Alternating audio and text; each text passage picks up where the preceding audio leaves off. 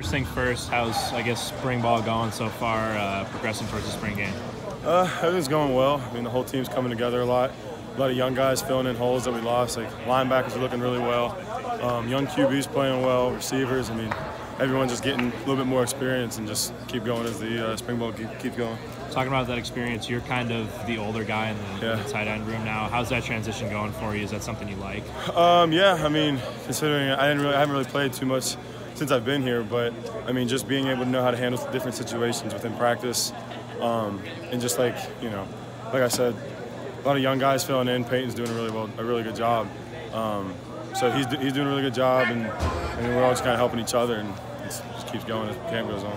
What's the biggest difference between your game last year and this year so far? What would you say? Um, I think I've just gotten faster overall completely with the uh, our new strength guys. Coach Ballou's making everyone's numbers just go through the roof. And uh, I think I'm just playing faster and I'm not thinking as much while I'm playing. You're kind of one of those guys on offense that are kind of being looked at to take that next step in terms of production. Do you feel like you're ready to do that? And if so, kind of why?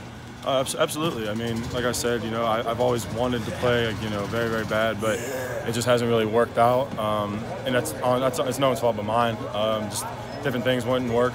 But um, this year, I think I just I did enough. Uh, I got to keep going, keep getting better, uh, keep getting these plays down, working with the team, coming together, and just keep going. Uh, spring game coming up, less than two weeks away. What's your kind of excitement level for that?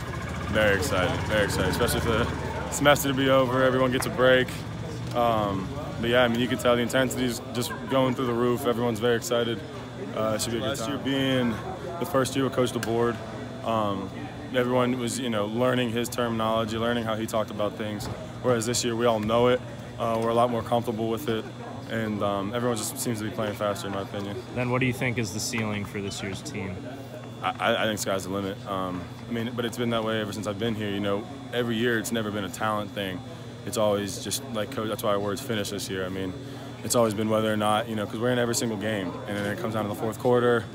You know, we just need one more play, and then I think I think this year will be the time we start getting it.